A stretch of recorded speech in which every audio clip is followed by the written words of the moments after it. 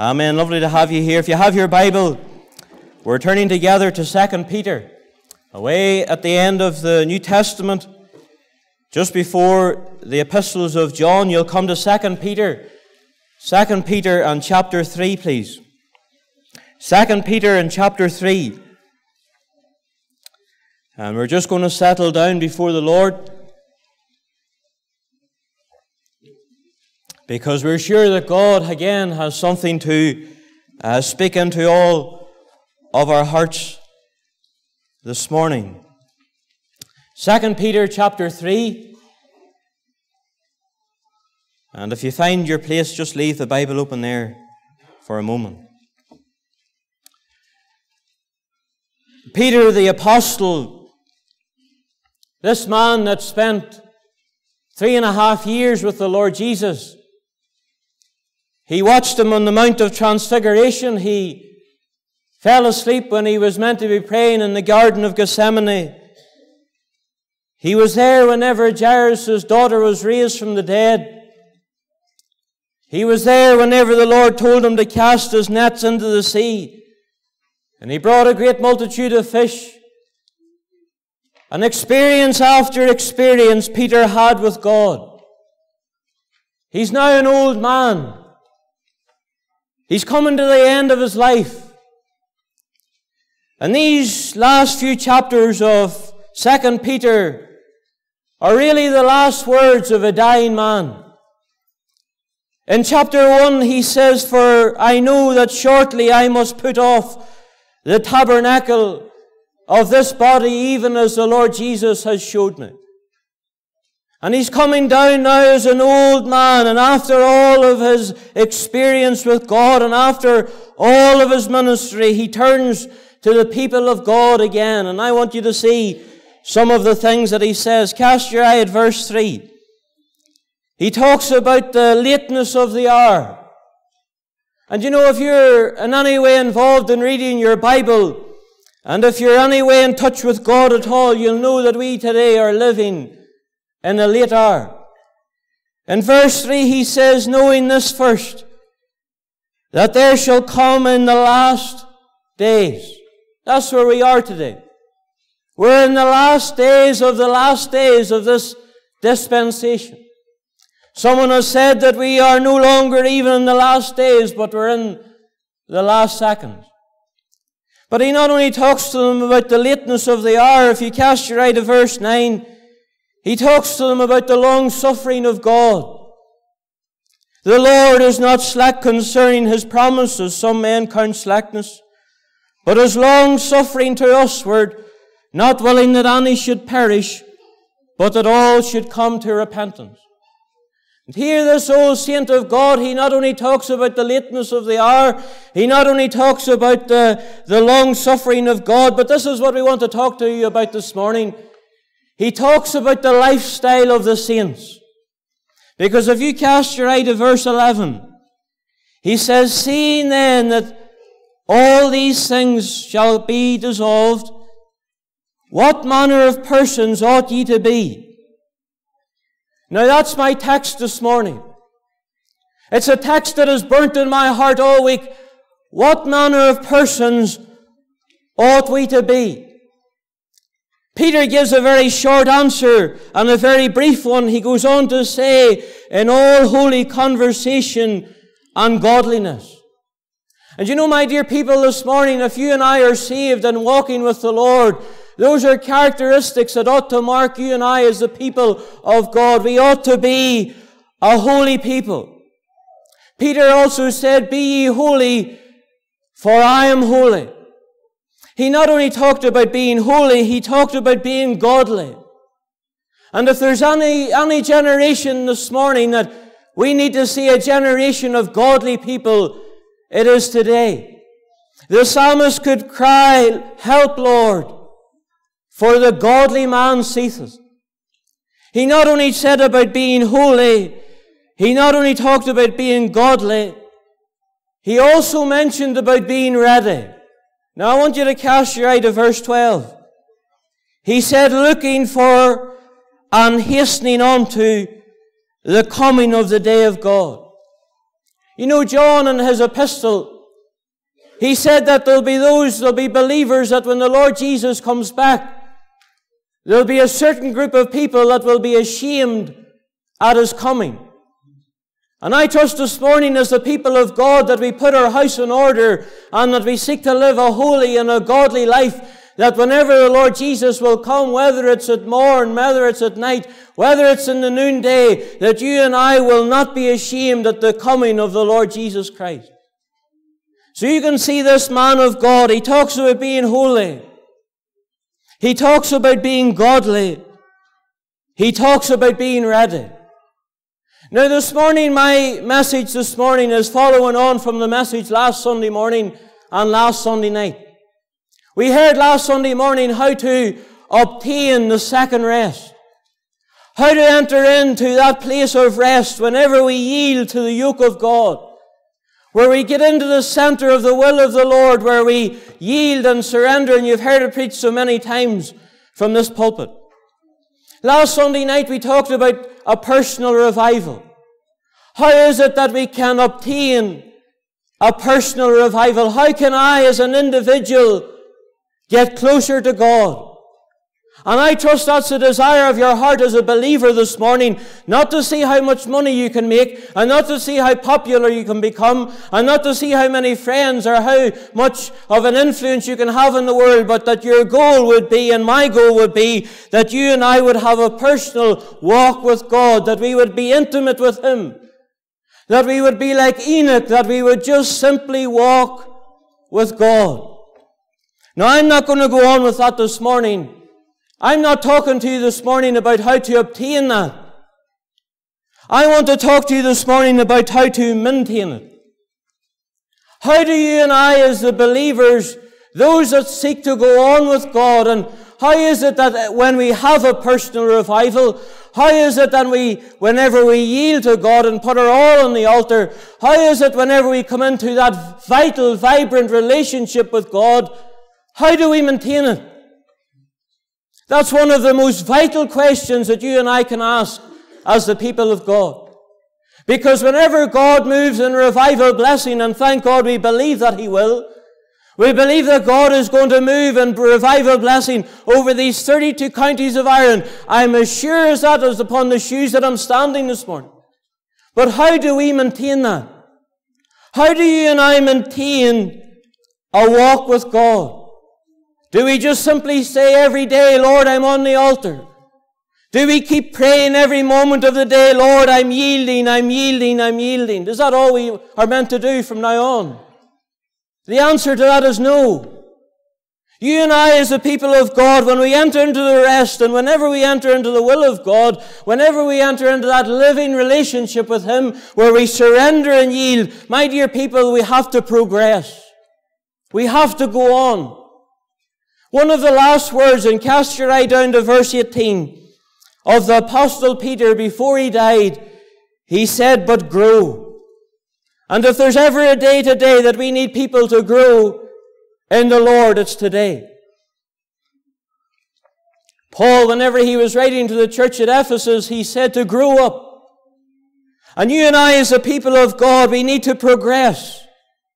And it's good every now and again to take a spiritual audit of our life. And whenever you businessmen come into January, February, March, you're thinking about getting your books already and you'll send it away to the accountant. But you and I, as the people of God, it's good to take a spiritual audit and see have we been progressing with the Lord? Have we been moving on?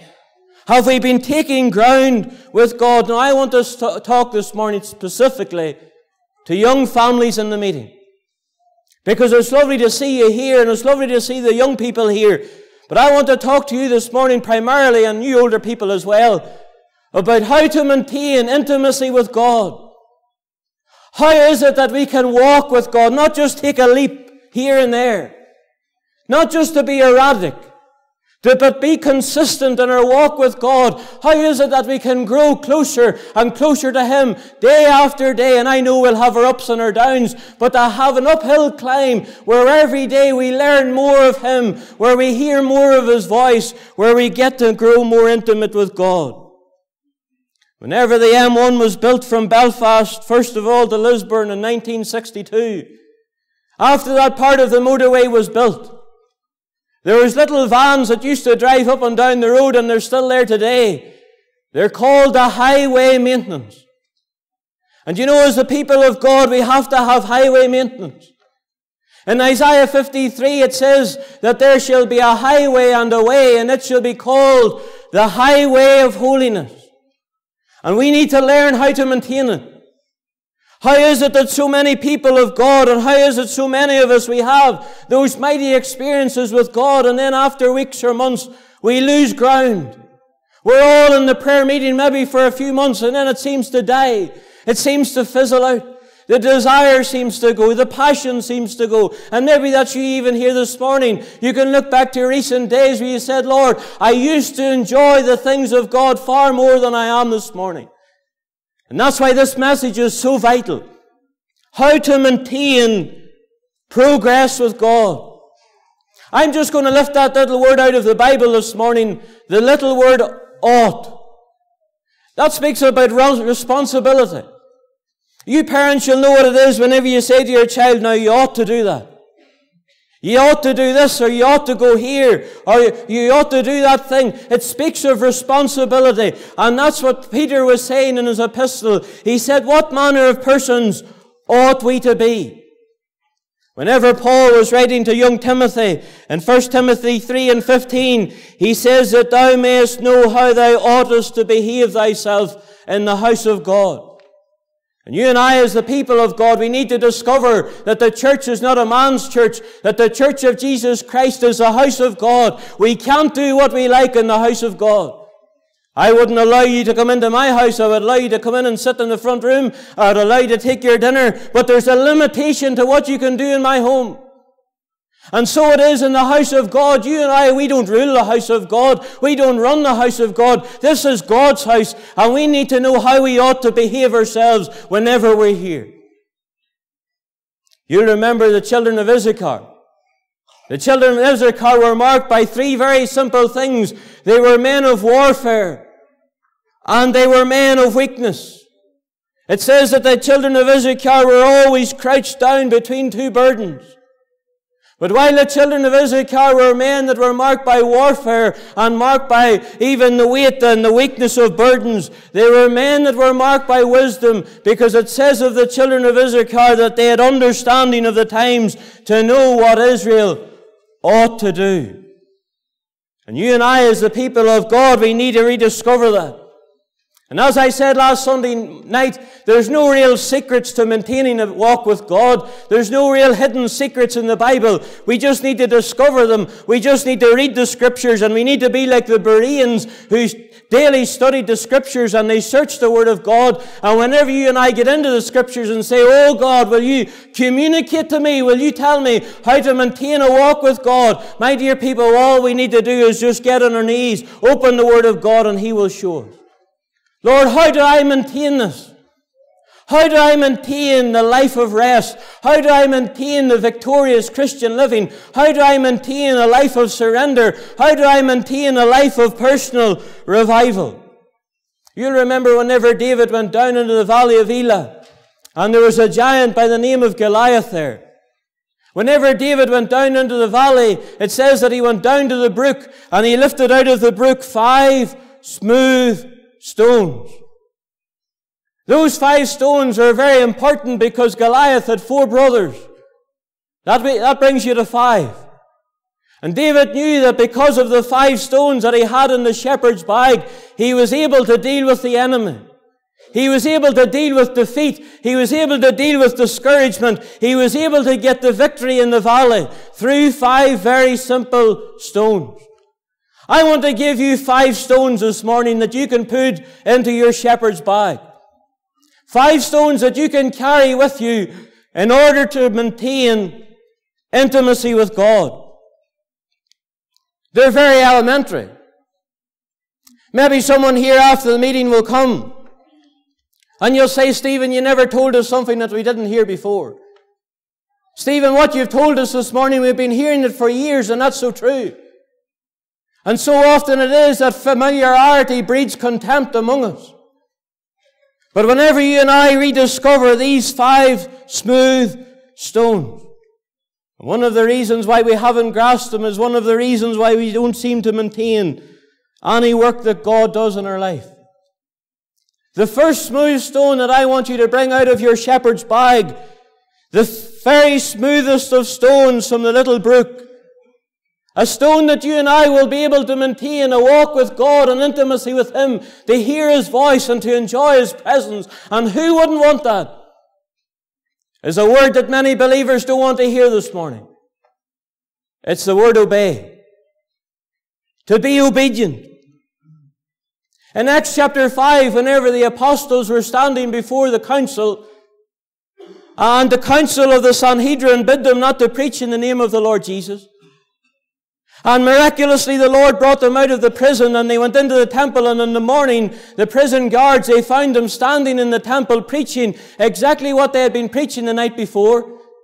And the council brought them before them and said, we charged you that you should not preach in the name of the Lord Jesus. Peter, filled with the Holy Ghost and boldness, he stood before the, the council and this is what he said. He said, we ought to obey God rather than men. And you know, my dear people, that's a very elementary truth. But one of the reasons why so few of God's people never seem to push on after having yielded, after having surrendered, after having those highs in the Christian life, and then it all seems to fizzle out, it all seems to die, it all seems to go in the back burner of life. It all comes down to this. There's been an area God has laid upon our heart, and we have never obeyed. The Bible says, and the hymn writer said, Oh, trust and obey. For there's no other way to be happy in Jesus but to trust and obey. You take your Bible during the week and you go through some of the men and women in the Bible that made wrong decisions in life and they disobeyed God. And there was many consequences in their life just because they disobeyed. They didn't commit adultery. They didn't steal. All they did was disobey God. And whenever you and I get a conception in our heart that to disobey God is an awesome, awesome thing in the sense of the presence of the Lord. What about Adam? Adam walked in the cool of the day. Whenever God seemed to come near and in the cool of the day, he communicated with God and they walked together. And then Adam disobeyed. He took of the forbidden fruit and he lost fellowship with God. The one that he enjoyed so often, the one who talked to him and spoke to him. They must have talked about creation. They must have talked about the beautiful flowers. They must have talked about the perfection of all that God had done. And there was a day whenever Adam disobeyed God, and that fellowship was severed. And Adam was put out of the garden. Maybe that's you this morning. There was times whenever you had sweet fellowship with God, but it's not there today. There's been an area of disobedience has crept in. What about Moses? Moses, the man of God, he disobeyed whenever he got the rod and he struck the rock. And I was just looking as I come up onto the pulpit this morning. Bertie left his stick here. and I was thinking even as I come up, you know what, you know what Moses did? Just out of agitation and just out of, out of temper, he, he struck the rock. he did it twice. God only told him to do it once. And because Moses was agitated and because he was annoyed, he struck the rock twice. And because of that one act of disobedience, he lost out on the blessing of God.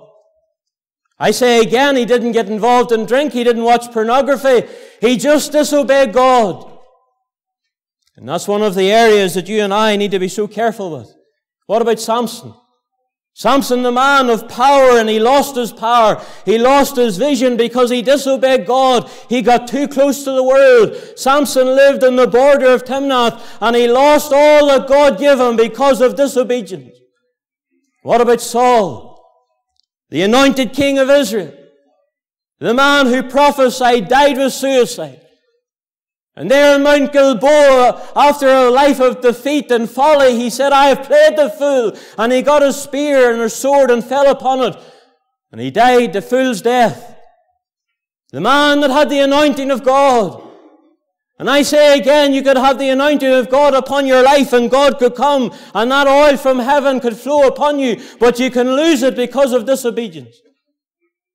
And Saul, whenever he was there, you remember how Samuel said to him, Samuel could say obedience is better than sacrifice, for disobedience is a sin of witchcraft. I'm sure you and I wouldn't be too interested in playing the Ouija board. I'm sure there's some of you here would think it awful if someone was to say, I've been reading the horoscope. It's a form of witchcraft. But have we ever thought about disobedience? Because God said it's as a sin of witchcraft. What about Abraham? Abraham, the father of the faithful. Abraham, the one that was called out of the Ur of the Chaldees. My, how he disobeyed God and he took Hagar. And for 13 years, he never heard the voice of God. 13 years the voice of God was silent towards Abraham because of disobedience. What about David? He lost his joy. What about Jonah? Lost his testimony. On and on we could go. Israel lost their liberty. All of these things that we lose out on because of areas of, and acts of disobedience. Whenever the Welsh revival was in full flight, and Evan Roberts, he never said where he was going to preach, and all the churches in Wales used to be packed. And Evan Roberts used to spend the whole night in prayer, and he used to come and he used to come into the meeting, and the meeting would be packed, and he used to sit in the front row, and he used to pray for three hours, and the whole congregation would watch him. And then after three hours, he would stand to his feet, and he used to cry, Obey God. That's it, my friend. Obey God. And whatever area God has been dealing with you, in whatever area of your life God has been speaking to you about, obey God. Obey God. You see, the Lord said in Isaiah 1 and verse 19, He said, If ye be willing, and so many of us are willing, but then He went on and said, and obedient. And the word obedience, we don't seem to like it. And I was thinking during the week, you know, there's even something within me. I don't like somebody saying to me, Stephen, you need to obey me. I don't like that.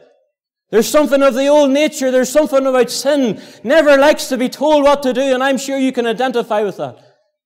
And whenever we hear that we need to obey God, we think of tyranny. We think of dictatorship. But every time you and I come to the place of obeying God, we think nothing of obeying the law.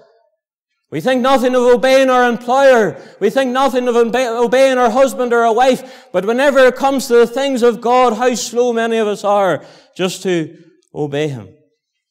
James, a half brother of the Lord, he said, Be ye doers of the word, and not hearers only deceiving your own selves.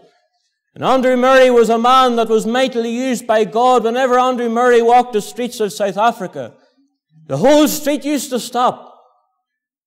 Everybody used to stop and watch Andrew Murray walking down the road because he was radiant with the presence of God. And Andrew Murray was asked one day, he said, Sir, how is it that you've maintained a walk with God? And this is what he said. He said, Let every thought of mine be continually, how can I obey God today? How can we obey Him?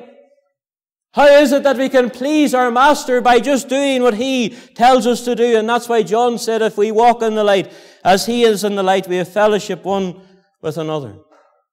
It was Eric Stewart that said a number of years ago, Light obeyed brings light, but light rejected brings night.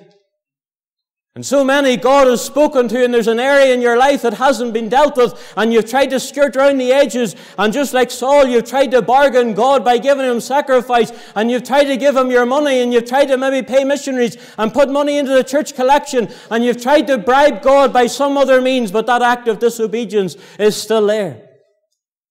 And we need to learn to obey because light rejected brings night. We need to walk in the light as He is in the light. And one of the mighty proofs of salvation is not praying, although it's a lovely truth.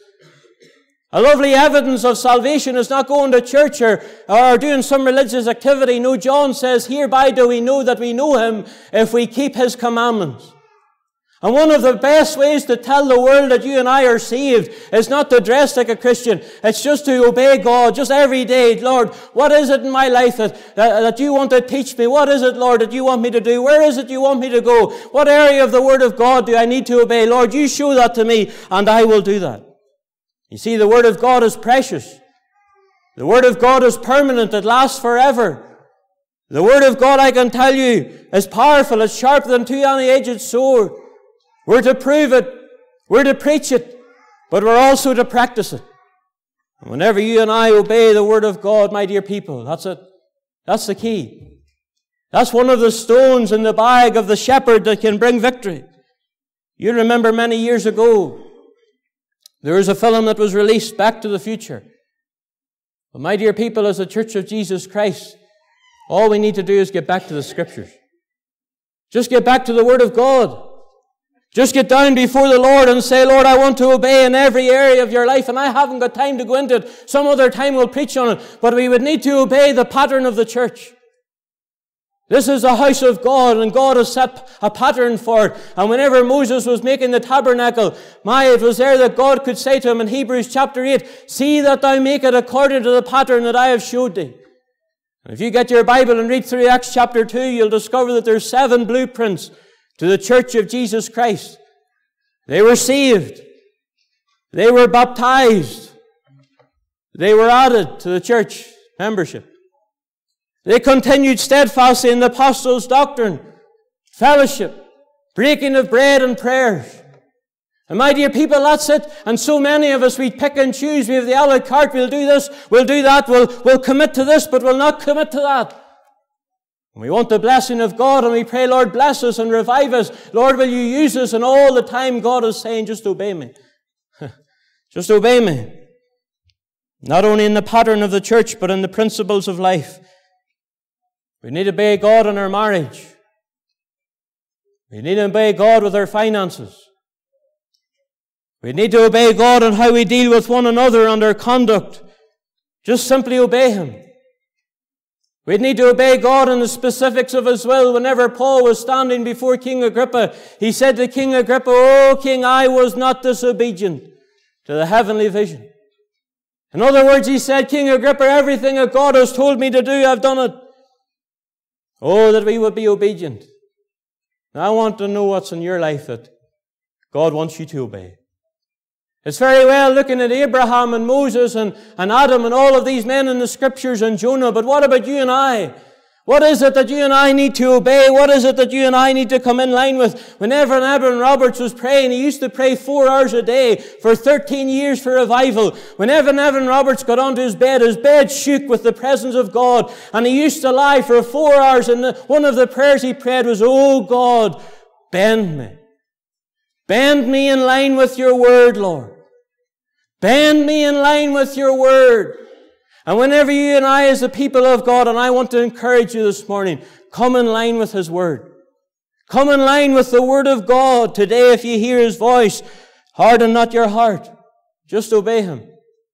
One of the most solemn things in the gospel, and I think we've lost sight of this. We often say that the Spirit of God will not always strive with men, and that is true. But it's also true of the believer. Because whenever God lays an area in our life that we need to obey and we make a conscious decision not to obey it, He withdraws. He's nothing more to say. He doesn't speak until we obey.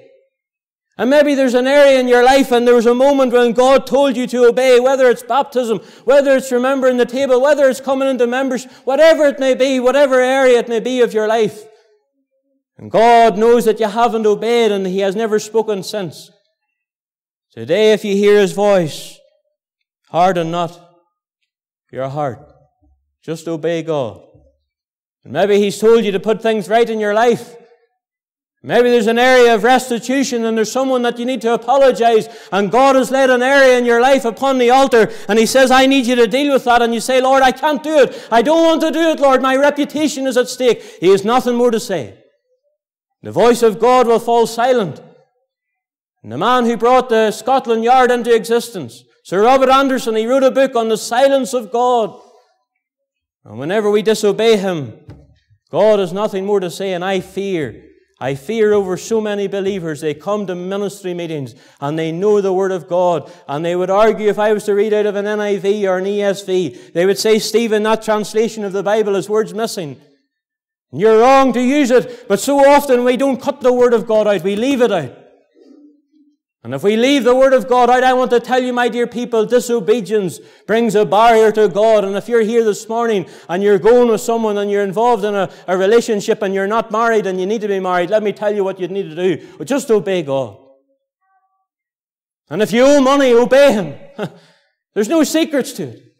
Just obey God. Trust and obey, for there's no other way to be happy in Jesus but to trust and obey. Another stone that we would need to have in our shepherd's bag is the words of the Lord Jesus.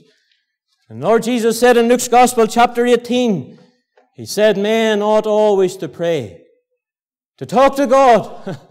and I think of nothing greater than a man or woman can do as a believer than talk to God. There's nothing excites my heart more. And the Lord knows this as I say this before you this morning. There's nothing excites my heart more than being able to talk to God. To come into that place where I can actually communicate to the one who created the world. Where he talks to me and I can talk to him and prayer is not a monologue. Prayer is a dialogue where he speaks and I speak to him. We can hear his voice and it can be a voice of comfort. It can be a voice of correction. It can be a voice of reassurance. But oh, my dear people, how we starve ourselves of intimacy with God and then we wonder how to maintain it. Have you got a quiet time? Have you got a place where you just get alone with God? Now, I know, I know that you mothers are busy. I, I watch Charlotte with little Emily, and I know that is not easy. I know that's hard. I know there's times when you get down to read and pray and the demands of family, you can get agitated. I am aware of that. But I want to encourage you to spend a little time every day with God. Whether it's 15, 20 minutes, 30 minutes, whatever you can do, spend time with God. I'll tell you what I used to do. Whenever I got saved and after that lovely experience and New Year's Eve that we talked about last year, last week, I used to set the first five minutes of every hour just to talk to God. From the top of the hour to five past, just those five minutes, just to stop and just talk to God. You don't have to get on your knees. You don't have to raise your hands just to communicate to heaven. And whenever you and I come in contact with God, where we spend time with Him, where we grow in intimacy with Him, the Lord Jesus said, when you pray, go into the closet and shut the door. And your heavenly Father, which seeth thee in secret, shall reward thee openly. I want to ask you this morning, my dear people, when was the last time you were in contact with God? You see, man is a three-part being. He's body, soul, and spirit. We know what the body's for. We know what the soul is. The soul is the real us. But what is the spirit? What is it? The spirit is dead because of sin. And whenever you and I get saved, the Bible says that He quickens our spirit. We're made alive. That spirit is the, the active communication between God. It's like an, a, like an antenna. You see the big antenna on a radio or up on top of the mountain in Cookstown, and it picks up a signal. And whenever you and I get saved, our spirit is made alive and we can come in contact with God. We can communicate to Him. We can bring our desires and our wants and our ambitions all before Him. What a friend we have in Jesus. All our sins and griefs to bear. What a privilege to carry everything to God in prayer. Oh, what peace we often forfeit. Oh, what needless pain we bear all because we do not carry everything to God in prayer. Psalm 23, the psalmist David said, My cup runneth over. I don't know if you've ever studied that, but I can tell you it's a mighty, mighty blessing because whenever you went into a Jewish house and you went in for a little cup of time of fellowship and you were sitting together at food and the, the host would come and he would take the cup uh, and if he was to fill it just as much as it's filled here, half filled, you know what he was saying? He was saying, I don't mind you being here, but you'd need to go after a little period of time. I don't mind you coming and having a little fellowship together, maybe an hour or two or a couple of hours, but there's a limitation to your friendship. And the more that the host would fill the cup, he was saying, I want you to stay longer and longer. The psalmist David said, My cup runneth over. The old Hebrew word is this, he floods the cup. In other words, God wants to have intimacy with us as much as we can with him. And so often we're so busy. And so often we're so taken up with other things and we forfeit the blessing of God. I would love to been there whenever Enoch walked with God and talked with him and the creator, the sustainer and spoke to him. I'd love to been there whenever Adam was there, whenever Abraham was in the plain of Mamre, whenever Moses sat and went into the tent and it says that he spoke to God face to face as a friend speaketh with a friend. And my dear people, so many of us, God waits upon us in the morning he waits upon us during the day. I wonder will she come and see me today? I wonder will he come and visit me? I wonder will he have fellowship with me? And he waits and he waits in vain. We, we're so busy with the television, with work, with family, with the business, uh, uh, and we lose out on God. That's it. You see, we want revival to do God, for God to do everything for us. But we need to know how to maintain it. Job prayed for his family. Hezekiah prayed for his health. Daniel prayed for the nation. Hannah prayed for the burden of her heart, and that's why Paul said that he's able to do exceedingly abundantly above all that we ask or think, according to the power that worketh in us. And James says we have not because we ask not. R.A. Torrey was a man that was mightily used by God. His Sunday school teacher was agitated because young people in his class wasn't getting saved, and the Lord laid it upon his heart to take one young man in prayer and pray him through. And he used to get up in the middle of the night just for 15, 20 minutes and he used to bring R.A. Torrey before the Lord in prayer and say, Lord, would you save this young man Torrey? Will you make him a man of God? And one night, whenever the Sunday school preacher, Sunday school teacher was on his knees praying, R.A. Torrey, who was in his bed many miles away, he just woke up, flooded with conviction. He got out of his knee, uh, out of his bed and got onto his knees and he was saved by the grace of God. Oh, my dear people, we need to rediscover the art of prayer. And whatsoever ye ask in prayer, believing ye shall receive, and hitherto you've asked nothing in my name. Ask that your joy may be full. The effectual, fervent prayer of a righteous man availeth much, and if our hearts condemn us not, then if we confidence toward God, and whatsoever we ask of him, we shall receive. Is that one of the reasons why we, we go up and down? Is that one of the reasons why we can't seem to maintain it? And R.A. Torrey went on to say how little the average Christian spends in prayer.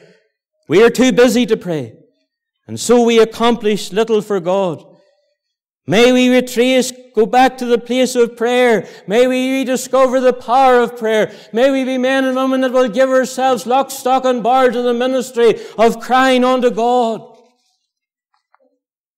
That's just a little simple stone to use to maintain Intimacy with God. Time has beaten me this morning.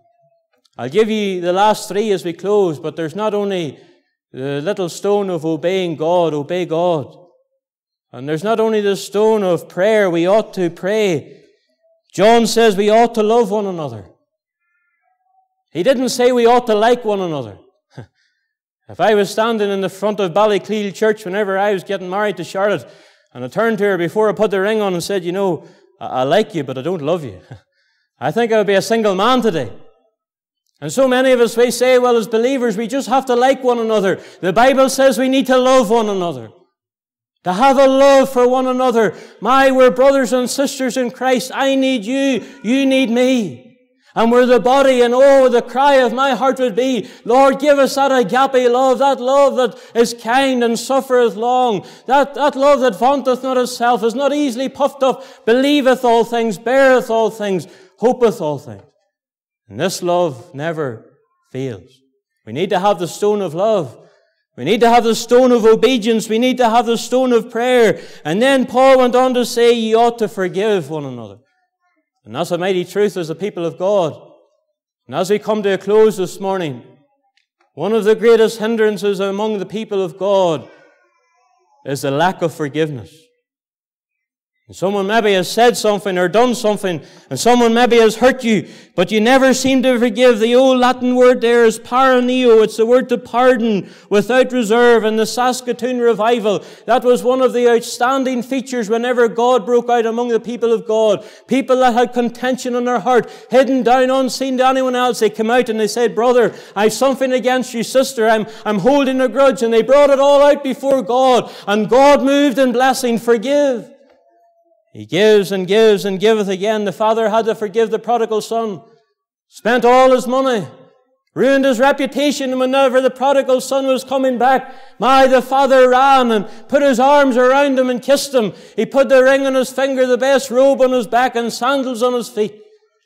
And maybe there's a father here and you would need to forgive your son. He's maybe hurt you in the past. He's maybe said something about you. Forgive.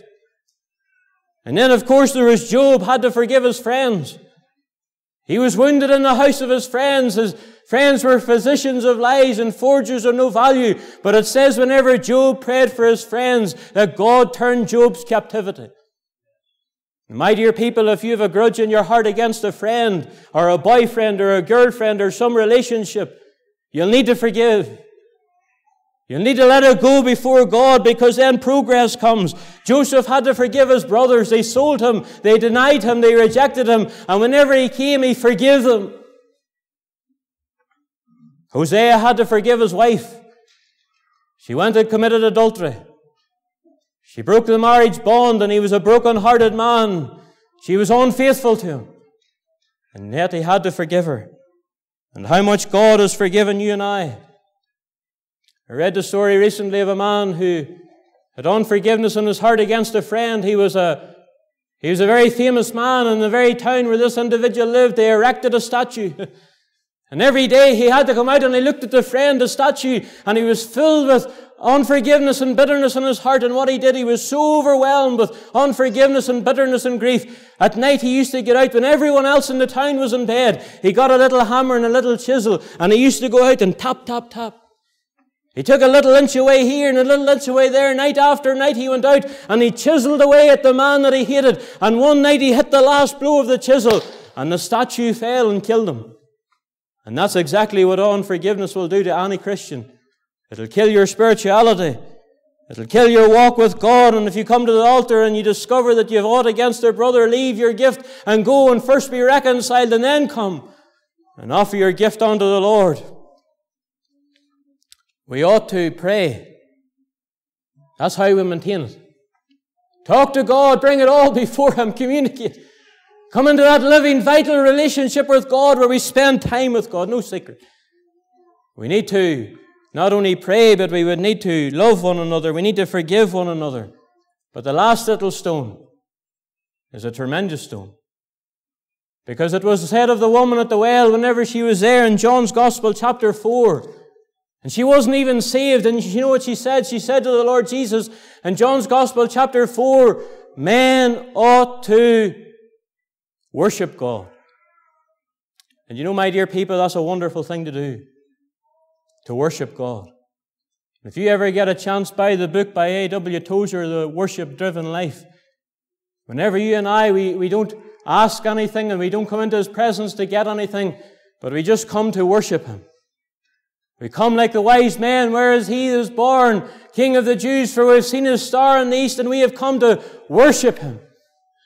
And the first mention of worship in your Bible is whenever Abraham went up Mount Moriah.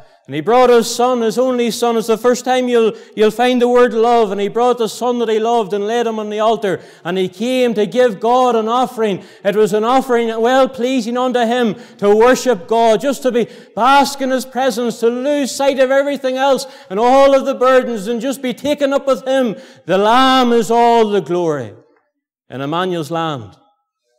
You know what's sad, and with this I close. The smallest meeting in the church is the worship meeting. I'll see many of you there on Wednesday night, and thank God for that because it's lovely to pray. I'll see many of you tonight in the school, but I'm going to see a lot of you leave this morning because all we want to do is worship. Just remember Him.